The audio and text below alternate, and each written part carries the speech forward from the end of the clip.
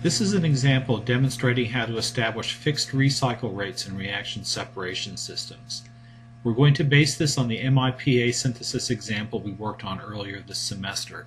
The flow sheet you see here is basically what we developed in class. I've made a couple of changes I'll talk you through. Uh, these are for clarity and for uh, speed of convergence. Uh, first of all, you'll notice that we have an ammonia to IPA feed ratio of 3 to 1. You can see that up here.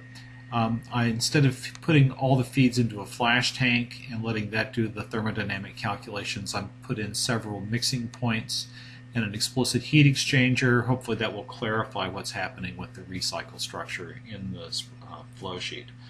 Um, the other major change I made, because we have some issues with the thermodynamics for the DIPA IPA water system, um, instead of using a shortcut column to split the water from the recycled DIPA, I've used a different unit operation in ChemCAD which is called a component separator.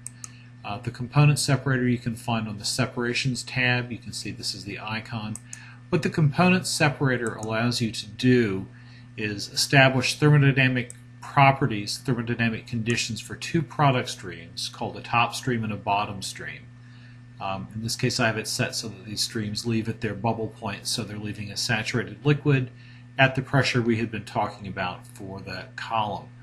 Um, what the component separator does is allows you to set a split for each component in the system. Uh, what fraction of each component goes to either the top or the bottom stream.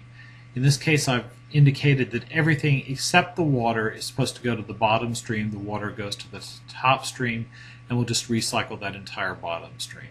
This isn't a rigorous uh, simulation of the process, but it will be close for a, a relatively sharp separation.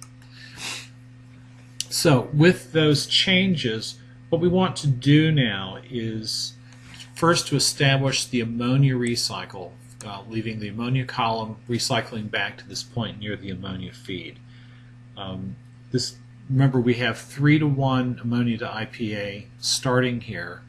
Uh, we're ultimately going to need to feed only about a uh, 1 to 1 ammonia to IPA. Uh, and we're going to recycle the other 200. The 100 is pretty close to the stoichiometric amount. So what we're going to do uh, first, or what I'm going to do here, is reroute this product stream uh, away from the product, uh, loop it back to that mixing point. And then I'm going to add a compressor to that stream uh, to bring it from the, the column pressure back to the operating pressure. So I'll use the insert unit functionality, drop a compressor in here,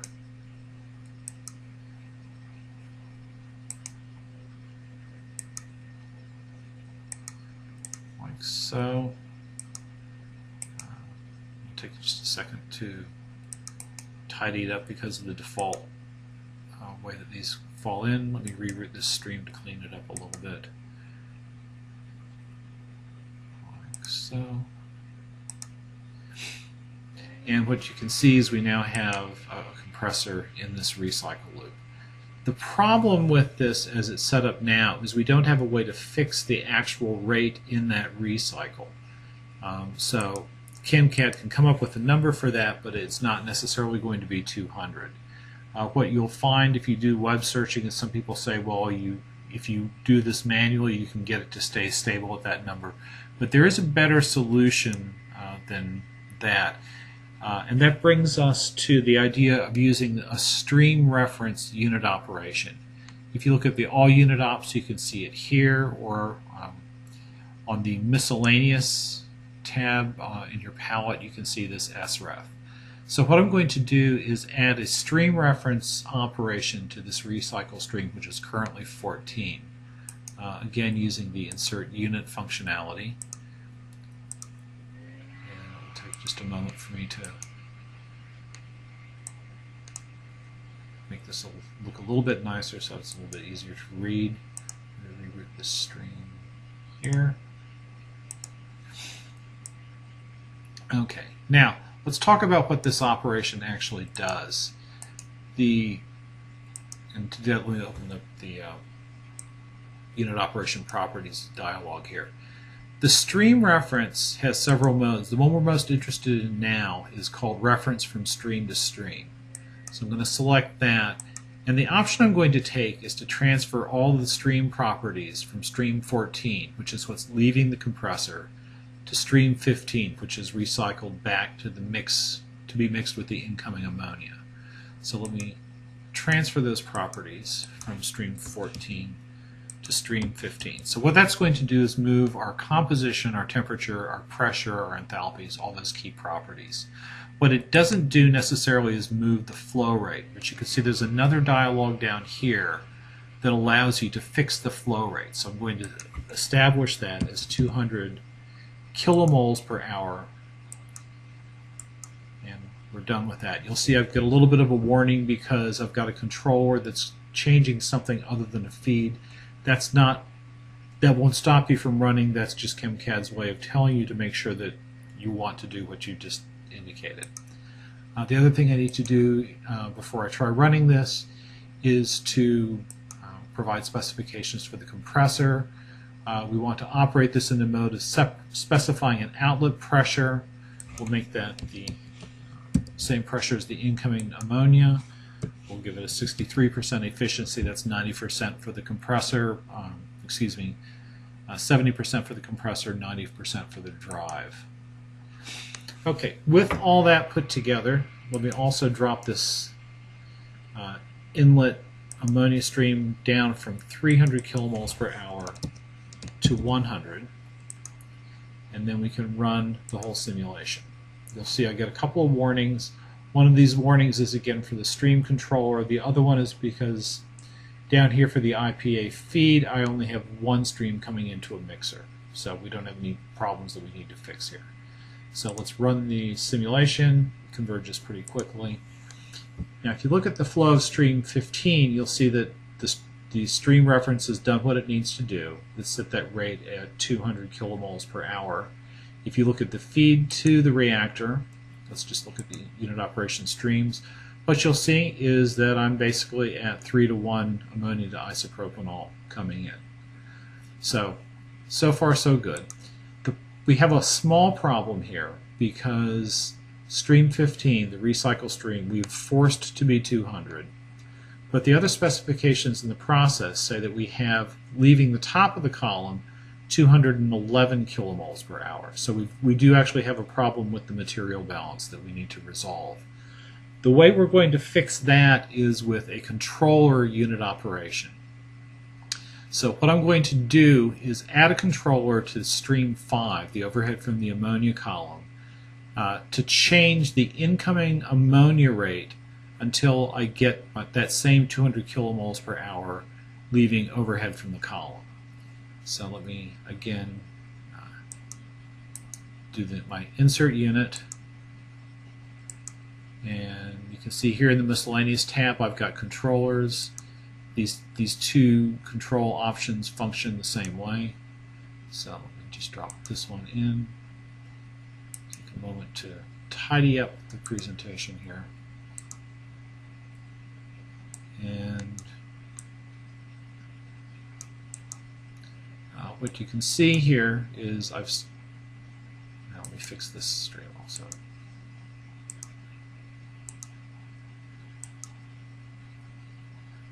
so I've got stream 5, uh, my ammonia overhead coming to this controller going to stream 16 which feeds the compressor.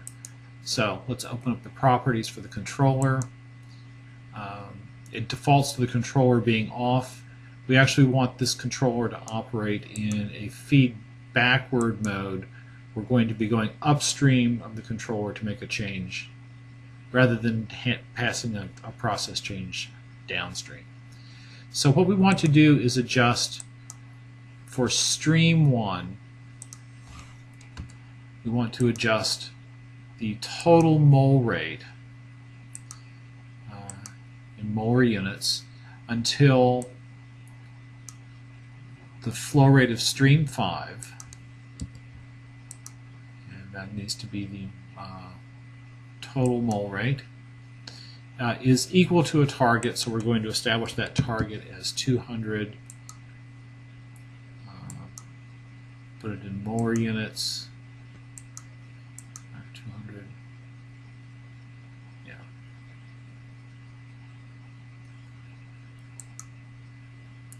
Okay, so we should be good to go here. Say OK. Run the simulation.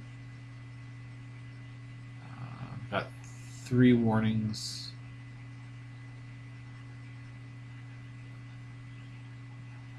Uh, one of the warnings has to do with there being no initial estimate for the compressor feed. That's not a problem. The controller will handle that. Um, calculation works fine. And if you look here now, you can see the flow rate here is 199.996, which is close enough to 200. That's about as closely it's going to as it's going to converge. So what I have now is an ammonia recycle rate that uh, an ammonia recycle rate that's at my specified value.